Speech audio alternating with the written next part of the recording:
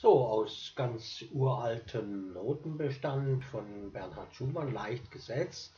Deswegen konnte ich das auch in der Jugend schon spielen, ein paar Weihnachtslieder.